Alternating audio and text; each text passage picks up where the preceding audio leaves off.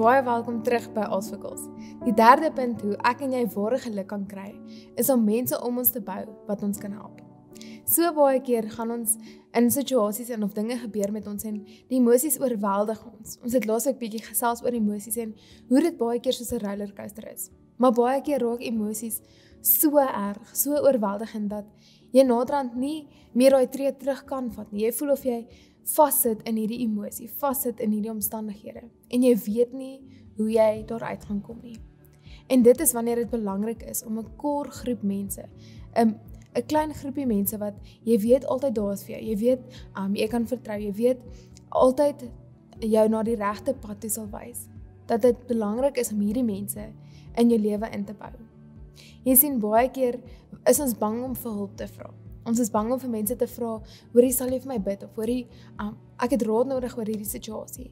Want ons voel ons moet ons moet sterk wees. As ek 'n Christen is, as ek 'n verhouding met Jesus is, mag mense nie weet dat ek swak plekke het nie. Mag mense nie weet dat ek sukkel met sekere goeders nie. Mag mense nie weet dat ek ook emosies beleef nie. Maar dis so groot leuen wat die duiwel vir my en jou kom vertel. Jy sien, as ons kyk na die lewe van Jesus, hy self het hierdie kor groep mense gehad. Hy self het mense om hom gebou toe hy gaan bid het in die tuin voordat hy gekruisig is, het hy vir Petrus, um, Johannes en Jakobus gevra. Hy het hulle saam met hom gevat en gevra bid saam met my in my in my uur van nood. Bid saam met my want ek is angstig. Bid saam met my want ek is bang vir dit wat voorlê. Jy sien, as die God van die heelal Jesus, as hy self mense nodig gehad het, as hy self mense om hom gebou het en besef het hoe belangrik dit is, wat keer my en jou? Wat maak my en jou enigstens beter? Ons moet besef dat dit is nie verkeerd, dit is nie swak van ons om vir hulp te vra nie. Want hierdie emosies kan oorweldigend raak. Partykeer kan jy in 'n in 'n situasie wees waar jy geen uitkom sien nie, waar dit vir jou voel of jy weet nie hoe jy uit gaan kom nie. En dan moet hierdie mense daar wees en jou sterk maak.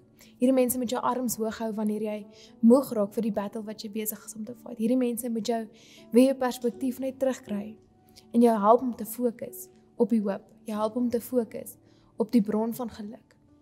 En wanneer ons hierdie mense in ons lewe inbou, gaan ons kan sien dat ons baseer nie ons geluk op hulle nie. Ons geluk hang nie af van hulle nie, maar hulle help ons om te fokus op die positief. Hulle help ons om te fokus op die plekke waar ons wel geluk kan kry. So, ons bou nie ons geluk op mense nie, maar ons moet mense in ons lewe inbou wat ons help om te fokus op geluk wat ons help om te fokus op die goeie dinge in die lewe wanneer lewe bietjie oorweldigend raak. 'n Quote um, wat ek gekry, gelees het in die week sê, "A true friend is someone who strengthens you in prayer, blesses you with love and encourages you with hope." En ek wil jou vandag vra, het jy mense wat hierdie drie dinge vir jou doen? Het jy mense wat jou sterk maak um, wanneer jy swak voel? Het jy mense wat vir jou liefde gee wanneer jy wanneer jy voel dat jy dit jy nie jouself kan lief hê nie. Het jy mense wat jou help om te fokus op die hoop wat Jesus vir my en jou bring?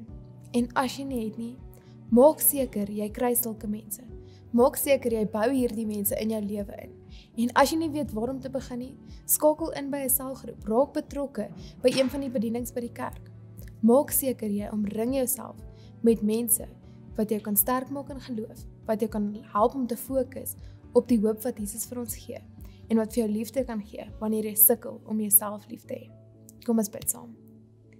Here baie dankie dat ons kan weet dat dit nie 'n teken is van swakheid wanneer ons vra vir hulp nie. Here dankie dat ons na u lewe kan kyk en dat u self hierdie mense in die lewe in u lewe ingebou het toe u hier op aarde was. Nie omdat u swak was nie, nie omdat u dit nie self kon kon doen nie, maar dat omdat u geweet het hoe belangrik dit is om community te hê omdat u geweet het hoe belangrik dit is om mense om jou te bou dat wanneer jy sukkel om perspektief te kry, wanneer jy sukkel om om te fokus op die regte goeders, wanneer jy sukkel om ware geluk te vind dat hierdie mense jou sal help, dat hulle saam met jou sal bid, dat hulle jou um, sal bemoedig en dat hulle jou sal lief hê. Here help ons asseblief elkeen om hierdie mense in ons lewens in te bou, om hierdie mense te identifiseer, om die regte mense te identifiseer en om hulle in te bou in ons lewe, lewens in Here. Help ons asseblief om hierdie mense te vertrou met ons met dit wat in ons hart aangaan, met dit wat ons uh, in ons gedagtes aangaan. En dat ons sal op homself te probeer om deur hierdie lewe te gaan. Want U het ons nie gemaak om alleen te wees nie. U het ons gemaak om in community te wees. Here, ek wil vra dat U elke persoon wat hierdie kyk vandag sal bless.